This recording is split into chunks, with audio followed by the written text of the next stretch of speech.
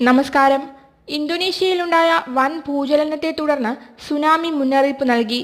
Richter സ്കെയിലിൽ ഏഴ് ദശാംശം മൂന്ന് തീവ്രത രേഖപ്പെടുത്തിയ ഭൂചലനമാണ് ഉണ്ടായതെന്ന് യു എസ് ജിയോളജിക്കൽ സർവേ അറിയിച്ചു. രാജ്യത്തെ വടക്കൻ നഗരമായ മൗമേരിയയിൽ നിന്ന് നൂറ് കിലോമീറ്റർ അകലെ ഫ്ലോറസ് കടലിൽ പതിനെട്ട് ദശാംശം അഞ്ച് കിലോമീറ്റർ ആഴത്തിലാണ് ഭൂചലനത്തിന്റെ പ്രഭവ കേന്ദ്രം വലിയ ഭൂചലനത്തെ തുടർന്ന് സുനാമിക്ക് സാധ്യതയുണ്ടെന്നും യു എസ് ജിയോളജിക്കൽ വകുപ്പ് മുന്നറിയിപ്പ് നൽകി. അതേസമയം നിലവിൽ ഭൂകമ്പത്തെ തുടർന്ന് ആളുകൾ മരിച്ചതായി റിപ്പോർട്ടില്ലെന്നും യു എസ് ജിയോളജി വകുപ്പ് വ്യക്തമാക്കി. പസഫിക് റിംഗ് ഓഫ് ഫയറിലെ സ്ഥാനം കാരണം ഇന്തോനേഷ്യയിൽ ഭൂകമ്പങ്ങളും സുനാമികളും ഉണ്ടാവുന്നത് വ്യാപകമാവുകയാണ്. രണ്ടായിരത്തി നാലിൽ ഇന്തോനേഷ്യയിലെ സുമാത്രയിൽ ഒൻപത് ദശാംശം ഒന്ന് തീവ്രത രേഖപ്പെടുത്തിയ ഭൂകമ്പം സുനാമിക്ക് കാരണമാവുകയും ഏകദേശം രണ്ട് ലക്ഷത്തിലധികം ആളുകൾ മരിക്കുകയും ചെയ്തിരുന്നു. രണ്ടായിരത്തി പതിനെട്ടിൽ ലംബോക് ദ്വീപിലുണ്ടായ ഭൂചലനത്തിൽ അഞ്ഞൂറ്റി അൻപത് പേർ മരിച്ചിരുന്നു.